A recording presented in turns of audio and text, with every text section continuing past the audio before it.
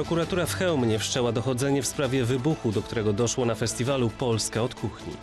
Będziemy ustalać, jakie są obrażenia i jaki charakter mają te obrażenia, których doznały pokrzywdzone. Wszystkie te osoby zostały przetransportowane do szpitali w Grudziądzu, w Chełmie oraz w Świeciu. Rozpoczyna się kolejna tura programu inwestycji strategicznych. Te progi są 2, 8 em, i, i e, kilkadziesiąt milionów. E, Łącznie można e, będzie na pewno 40 milionów co najmniej uzyskać. Rezygnacje, inne kierunki, inne terminy. Wszyscy klienci, którzy są na RODOS w tej chwili, są oczywiście zabezpieczeni przez naszych kontrahentów i rezydentów. Groźne pożary na greckich wyspach zmieniają plany wakacyjne turystów. Zaczynamy poniedziałkowe główne wydanie zbliżeń. Michał Adamski, dzień dobry. Policja i prokuratura wyjaśniają okoliczności wypadku podczas festiwalu kulinarnego w Chełmie. W wyniku wybuchu sześć osób zostało poparzonych. Przesłuchiwani są świadkowie zdarzenia. Nikt nie usłyszał zarzutów. Do wypadku doszło w niedzielę po godzinie 14 podczas ogólnopolskiego festiwalu Polska od kuchni. Jak ustalili śledczy, podczas uzupełniania podgrzewacza gastronomicznego płynem łatwopalnym doszło do wybuchu. Sześć kobiet z oparzeniami trafiło do regionalnych szpitali. Miały poparzone od 5 do e, 30% powierzchni ciała, e, stan poparzenia drugiego stopnia. E, Wszystkie te osoby zostały przetransportowane do szpitali w Grudziądzu, w Chełmie oraz w. Sprawą zajmuje się prokuratura rejonowa w Chełmie. Dzisiaj zostało wszczęte dochodzenie pod kątem zaistnienia przestępstwa z artykułu 160 paragraf 1 i 3 kodeksu karnego. To jest mm, narażenia człowieka na bezpośrednie bezpieczeństwo utraty życia lub zdrowia y, poprzez działanie nieumyślne, bo tak tutaj przyjęliśmy, że nikt tutaj celowo nie chciał, aby do takiego zdarzenia doszło. Prokuratura nie rozmawiała jeszcze z poszkodowanymi kobietami, które przybywają w lecznicach. Po ich przesłuchaniu śledczy będą mogli podjąć kolejne kroki w tej sprawie. Bartosz Astelmasik, TVP3 Bydgoszcz. Do 16 sierpnia samorządy mają czas na zgłaszanie wniosków o dofinansowanie z programu inwestycji strategicznych w ramach Rządowego Funduszu Polski Ład. Bydgoszcz wybiera pod takim hasłem politycy Prawa i Sprawiedliwości zachęcają mieszkańców do zgłaszania swoich propozycji na rewitalizację miasta i zapowiadają konsultacje społeczne. Wkrótce bydgoszczanie będą mogli zagłosować na wybrany przez siebie projekt na specjalnej stronie internetowej. Rewitalizacja nabrzeża Brdy i kanału bydgoskiego, modernizacja stadionu żużlowego Polonii Bydgoszcz, przebudowa ulicy Nakielskiej, utwardzenie ulic gruntowych i odbudowa zachodniej pierzei Starego Rynku. To tylko niektóre pomysły polityków PiS na rozwój miasta. Rusza kolejna tura programu inwestycji strategicznych w ramach Polskiego Ładu. Samorządy mogą składać wnioski o dofinansowanie na wybrane inwestycje publiczne. Te progi są 2, 8 em, i, i e, kilkadziesiąt milionów. E, Łącznie można e, będzie na pewno 40 milionów co najmniej uzyskać na te cele. Każda ciekawa, rozsądna propozycja, taka, która, która by spełniała te kryteria, może być wzięta pod uwagę. Samorządowcy i przedstawiciele rządu czekają na pomysły stowarzyszeń, rad osiedli i mieszkańców oraz zapraszają do dyskusji o zadaniach do wykonania. naprawdę jest cała paleta propozycji, nad którymi warto usiąść i które warto mieszkańcom Bydgoszczy zaproponować. Szeroko idziemy do mieszkańców, żeby oni czuli, że mają udział w współrządzeniu naszym miastem, a, że, a my ch- chcemy y, im w tym pomóc. Czyli krótko mówiąc, szeroko pojęte konsultacje społeczne. Będziemy na targowiskach, na rynku, wszędzie tam, gdzie bydgoszczanie się spotykają. Wkrótce bydgoszczanie będą mogli zagłosować na wybrany przez siebie projekt na stronie internetowej bydgoszczwybiera.pl. Możemy ten katalog rozszerzyć o tyle, o tyle propozycji, ile do nas e, spłynie. E, I za tydzień e, dlatego o- otworzymy stronę internetową, na której wszyscy bydgoszczanie będą mogli oddać e, swój głos. Nabór wniosków do rządowego programu inwestycji strategicznych potrwa do 16 sierpnia. Zmieniamy temat. Największe w historii greckiej wyspy Rodos pożary krzyżują wakacyjne plany. Część biur podróży odwołuje wycieczki i proponuje klientom inne kierunki lub zwrot pieniędzy. Od niedzieli strażacy walczą z ogniem również na wyspach Korfu i Eubei. Wyloty z portu lotniczego w Bydgoszczy na razie odbywają się zgodnie z planem. Więcej na ten temat Marcelina Bociek. Znajdujemy się na terenie bydgoskiego portu lotniczego, skąd cały czas regularnie odbywają się loty na greckie wyspy. Na przykład wczoraj w niedzielę wystartował samolot na Kretę. Z bydgoskiego lotniska można dotrzeć również na Rodos. Najbliższe loty zaplanowane są na piątek. Jednak nie wiadomo, czy te loty się odbędą. Na wyspie od y, kilku dni szaleją pożary. Strażacy nie mogą opanować trudnej sytuacji. Tysiące turystów ewakuowanych jest w bezpieczne miejsca. Biuro podróży Rainbow anulowało poniedziałkowe przyloty do sześciu hoteli na Rodos, oferując zmianę rezerwacji lub zwrot środków. Natomiast Itaka umożliwiła zmianę rezerwacji lub bezkosztową rezygnację z wybranych 10 hoteli klientom, którzy wykupili wylot 24 lipca. Wszyscy klienci, którzy e, są na RODOS w tej chwili, są oczywiście zabezpieczeni przez naszych kontrahentów i rezydentów. Mają możliwość przeniesienia się i do innego hotelu na północy wyspy, no, która na dany moment jest całkowicie bezpieczna. E, No i najbliższym czarterem, który będzie teraz e, wracał, będą mieli oczywiście możliwość powrotu do kraju. Planujący powiedzmy wyjazd na RODOS w najbliższych dniach mają oczywiście możliwość e, całkowitej anulacji tej rezerwacji. Mają możliwość zmiany na dowolnie wybrany kierunek i hotel. E, oczywiście w, w ramach dostępności miejsc. Loty na inne greckie wyspy również stoją pod znakiem zapytania, gdyż groźne pożary są nie tylko na Rodos, ale również na Korfu i Eubei. I na jednej i na drugiej władze nakazały ewakuację pięciu miejscowości. Porty lotnicze śledzą aktualne sytuacje i czekają na decyzje operatorów. Ważne, by w kontakcie z biurami podróży pozostawali pasażerowie, gdyż to oni otrzymają informacje dotyczące ewentualnych zmian w swoich wyjazdach. Na służbie czy poza nią dbają o bezpieczeństwo mieszkańców. Policjanci obchodzą dzisiaj swoje święto. Przy tej okazji opowiadają o pracy, którą wykonują i zachęcają do wstąpienia w policyjne szeregi. Pomagamy i chronimy. Tak brzmi ich hasło. Odpowiadają za bezpieczeństwo, zdrowie i często życie drugiej osoby. Policjanci, chociaż dzisiaj mają swoje święto, to pracy nie przerywają, a wielu z nich niesie pomoc innym, nie tylko w mundurze. Ja jestem również ratownikiem wodnym. Mam również ukończony kurs e, KPP. Jest to jakby nieodzowne do ratownika wodnego. E, Chcę pomagać osobom, jestem związana z wodą. Gdzieś to w pewien sposób może zabrzmi dziwnie, ale też mnie odstresowuje. Obydwie rzeczy są to służby, bo pracy w policji nie można nazwać pracą, gdyż jest to służba. Jest to służba całodobowa, policjantem jest się 24 godziny na dobę. Ratowanie życia tonącym, reanimacja nieprzytomnego, ewakuacja z płonącego budynku czy pomoc ofiarom wypadków to tylko przykłady działań policjantów z województwa kujawsko-pomorskiego poza czasem służby. Za taką postawę funkcjonariusze w regionie od kilku lat są wyróżniani kryształowym sercem. W dniu wolnym od służby e, jechałem drogą krajową numer 10 i w miejscowości Przyłubie byłem świadkiem zdarzenia drogowego pomiędzy dwoma pojazdami. Zdarzenie polegało na tym, iż dwa pojazdy zderzyły się czołowo. E, W jednym po- pojeździe była kobieta, matka z dwójką e, chłopców. Udzieliłem im pomocy. Zadzwoniłem na numer alarmowy 112 i do przyjazdu służb byłem z nimi oraz młodszemu z chłopców, który uskarżał się na ból brzucha. E, Udzielałem pomocy przedmedycznej. Ale skuteczność działań policji to przede wszystkim praca w zespole i zaufanie do kolegów z różnych specjalizacji. Jednym z najmłodszych pionów w Komendzie Wojewódzkiej Policji w Bydgoszczy jest Wydział Poszukiwań i Identyfikacji Osób. Sklejeni w całość e, stanowimy, stanowimy siłę, bo e, kontrterroryści oczywiście pomagają policjantom zatrzymywać na przykład niebezpiecznych przestępców. Wcześniej policjanci Wydziału Kryminalnego te osoby typują. Bardzo często w tego typu akcjach uczestniczą także policjanci pionu prewencji, którzy zabezpieczają e, miejsce zdarzenia. Ostatecznie wchodzi Wydział Dochodzeniowo-Śledczy, który gromadzi i zabezpiecza dowody na miejscu przestępstwa, któremu pomaga laboratorium kryminalistyki.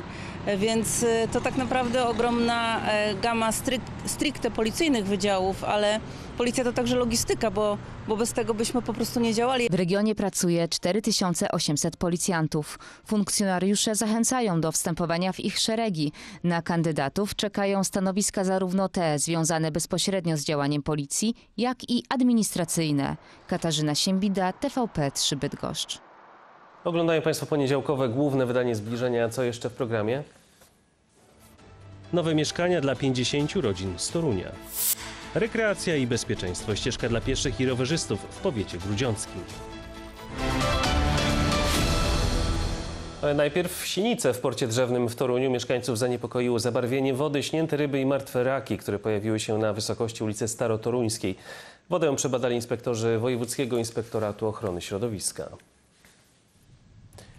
Po otrzymaniu zgłoszenia inspektorzy przeprowadzili wizję lokalną. Stwierdzono m.in., że woda przy brzegu była koloru ciemnozielonego z gęstą zawiesiną. Wydzielał się także charakterystyczny zapach. Wykonane badania jakości wody w Wiśle nie wykazały jej zanieczyszczenia. Natomiast podczas badań laboratoryjnych pobranej próbki wody stwierdzono zakwit sinic. Występowanie sinic potwierdziły też badania zalegających na brzegu rzeki śniętych ryb i raków. Sinice pojawiły się także w jeziorze Księże w powiecie świeckim oraz jeziorze Meszno w powiecie nakielskim.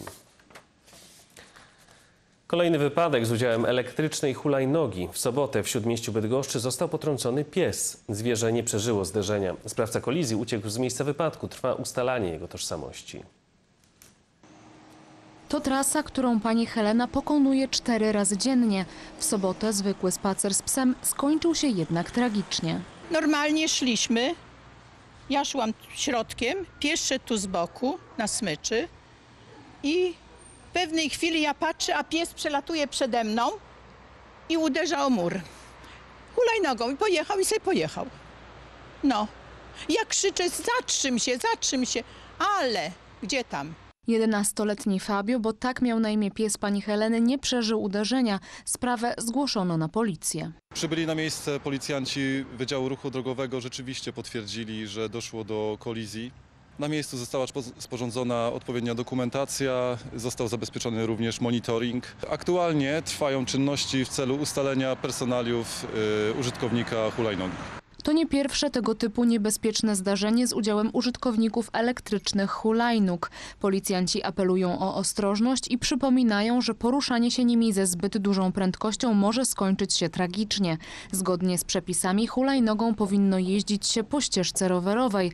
Problem pojawia się, gdy drogi rowerowej nie ma. Obowiązkowo poruszamy się jezdnią, gdy brakuje pasa dla rowerów lub drogi dla roweru, a prędkość pojazdów poruszających się na tej drodze jest nie większa niż 30 km na godzinę.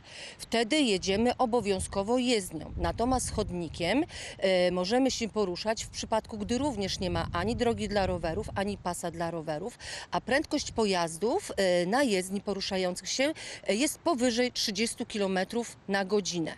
Policjanci ustalają, z jaką prędkością mógł poruszać się sprawca sobotniej kolizji. Z kolei pani Helena liczy na jego szybkie zatrzymanie. Każdy jeden, który ma psa, to wie, co to jest, jak psa straci. Co innego, jak pies jest chory. Ja wiem, że on jest chory i trzeba go uśpić. To jest całkiem inna sprawa. A co innego, jak w nagłym takim, tak człowiek by był. To jest członek rodziny. Bydgoszcz, Monika Buzalska. 50 rodzin wprowadziło się do nowych mieszkań w Toruniu w ramach długoterminowego najmu od miasta. Blok przy ulicy Poznańskiej jest siódmym budynkiem udostępnionym mieszkańcom. Dzisiaj odbyło się uroczyste przekazanie kluczy. Na tę chwilę pani Hanna Bożejewicz czekała bardzo długo, blisko 40 lat. Pracuję na dwa etaty, no nie było mi łatwo. 38 lat wynajmowałam mieszkanie, nie? To dla mnie to jest radość, nie? Że w końcu będę u siebie i na swoim. Życzę udanego zamieszkania. Na swoim jest już także Agnieszka Rutkowska. Jej M liczy 37 metrów kwadratowych. Okolica bardzo ładna, mówię. Blisko będę miała do pracy, pierwsze mieszkanie. Będę na swoim. Jestem bardzo szczęśliwa i zadowolona. W nowym bloku przy ulicy Poznańskiej łącznie ma zamieszkać 50 rodzin. To siódmy budynek w tym miejscu, którego inwestorem jest Toruńskie Towarzystwo Budownictwa Społecznego. Metraże to są od 35 do 60 metrów, czyli to są mieszkania albo dwupokojowe z aneksem, takie małe. E, Później są te w granicach tych 40 paru metrów, to są dwupokojowe z oddzielną kuchnią e, oraz mieszkania trzypokojowe e, w granicach 60 metrów. Zaangażowane są środki finansowe samych najemców, jedna czwarta wartości mieszkań, ale do tego był pożyczony także, są pożyczone pieniądze z kredytu bankowego i wreszcie też około 40% to są środki państwowe, a więc fundusze fundusz dopłat, rządowy fundusz dopłat oraz rządowy fundusz zasobów nieruchomościami. Nowy budynek objęty jest także programem Mieszkanie na start, dzięki czemu wysokość czynszu ma wynieść około 10 zł od metra kwadratowego. Lokatorzy, którzy spełniają kryteria dochodowe, czyli nie zarabiają więcej niż jest określona kwota, mogą dostać dopłatę do czynszu. Ona jest uzależniona i od ich dochodu, od e, wartości tak naprawdę nieruchomości w danym, na, na danym terenie oraz od członków, liczby członków gospodarstwa domowego. Ona się będzie zmieniać, to gminy wyliczają, przyznają wraz do decyzji taką dopłatę. Pomniejsza ona czynsz, czyli po prostu ułatwia spłacać znaczy, te zobowiązania miesięczne. W 2024 roku ma ruszyć drugi etap budowy osiedla Glinki. W planach jest budowa siedmiu bloków liczących 541 mieszkań. Szacowany koszt inwestycji to blisko 200 milionów złotych, przy czym 129 milionów to dopłaty i wsparcie z Rządowego Funduszu Rozwoju Mieszkalnictwa. Olga Taraszka, TVP3 Bydgoszcz. Teraz ważna informacja dla kierowców poruszających się po Bydgoszczy. W związku z przebudową torowiska na ulicy Toruńskiej drogowcy wprowadzili od dzisiaj zmiany w organizacji ruchu w okolicy ulicy Perłowej. O szczegółach Monika Buzalska. To kolejne zmiany dla bydgoskich kierowców. Budowa torowiska na ulicy Toruńskiej przy ulicy Perłowej wkracza w kolejny etap. W związku z tym od dziś kierowcy poruszają się tutaj jezdnią południową, czyli tą jezdnią przy ulicy Perłowej, a nie tak jak w ostatnich miesiącach jezdnią północną, czyli tą jezdnią przy miejskich wodociągach. To jednak nie jedyne zmiany, jakie są tutaj planowane. Na koniec lipca wykonawca planuje przełożenie ruchu na torowisku ulicy Toruńskiej przy moście Kazimierza Wielkiego. Wykonanie tych prac pozwoli rozpocząć roboty na torowisku ulicy Toruńskiej od strony rzeki oraz budowę rozjazdów w kierunku mostu tramwajowego. Według drogowców prace idą tutaj zgodnie z planem. Zamontowane zostały już wszystkie słupy trakcyjne i w tej chwili montowana jest sieć trakcyjna. Drogowcy zapewniają, że część prac ma zakończyć się jeszcze w tym roku. E, Most tramwajowy oraz torowisko na ulicy Toruńskiej i Perłowej mają być gotowe do 15 grudnia bieżącego roku. Z kolei budowa mostu ma zostać zakończona do końca lutego 2024 roku. W związku z licznymi remontami, które mają miejsce obecnie w Bydgoszczy, drogowcy apelują do kierowców o ostrożność oraz o zwracanie uwagi na znaki drogowe. Dla zbliżeń Monika Buzalska. A teraz o innej inwestycji. Prawie 5-kilometrowy odcinek ścieżki pieszo-rowerowej połączył Biały Bór i Wałdowo-Szlacheckie. Inwestycja kosztowała ponad 5 milionów złotych. 4 miliony to dofinansowanie z Regionalnego Programu Operacyjnego Województwa. W sierpniu rozpocznie się budowa kolejnego odcinka ścieżki rowerowej. Dzięki tej inwestycji możemy być pewni, że e, zabezpieczamy e, przede wszystkim bezpieczeństwo ruchu drogowego, ale tak jak pan marszałek wspomniał, mieszkańcy miasta Grudziądza mogą turystycznie realizować swoje potrzeby, swoje e, pasje rowerowe, docenić piękno przyrody gminy Grudziądz. Ta inwestycja, ten odcinek, który łączy się, czy też e, docelowo połączy się z drogą krajową numer 55, zobaczcie Państwo, jak wpisuje się idealnie w całą mapę ścieżek pieszo-rowerowych w mieście, ale też ubogaca właśnie e, drogi powiatu i też gminy Grudziądz, tworząc taki właśnie pierścień. Wpływa to idealnie na to, że aktywnie możemy spędzać czas, ale z korzyścią też dla, dla zdrowia i przede wszystkim dla poczucia bezpieczeństwa użytkowników ruchu drogowego. Ścieżka rowerowa, która jest tak naprawdę e, zwieńczeniem realizacji inwestycji drogowych, e, bo poprawia bezpieczeństwo, usprawnia ruch e, przede wszystkim pieszych i rowerzystów. I działamy też na rzecz środowiska naturalnego. Mam nadzieję, że wielu kierowców samochodów przesiądzie się na, na rowery, tak jak to my dziś zrobiliśmy. A za niespełna miesiąc niebo nad Grudziądzem wypełni się balonami. Kilkudziesięciu zawodników będzie rywalizowało o tytuł Mistrza Świata Juniorów. Zawody rozpoczną się 21 sierpnia. końcu mógł startować jako zawodnik. Wojciech Nowakowski z Włocławka to jeden z pięciu polskich lotników, którzy w sierpniu wystartują w balonowych Mistrzostwach Świata Juniorów. Będzie to jego debiut w zawodach tej rangi. Będę pomagał kolegom w, w powietrzu, żeby im pokazać, jakie tam, jak ja mam kierunki. E, więc nie ma też za, za bardzo na mnie jakiejś zbyt wygórowanej presji. No i mam nadzieję, że tutaj któryś kolega bardziej doświadczony, jemu uda się osiągnąć sukces. przez co to też będzie mój sukces, bo ja w tym uczestniczyłem i pomagałem w tym wszystkim. Łącznie na grudziąckim niebie będzie można podziwiać 45 zawodników z 17 krajów, w tym m.in. z Brazylii, Japonii i Kanady.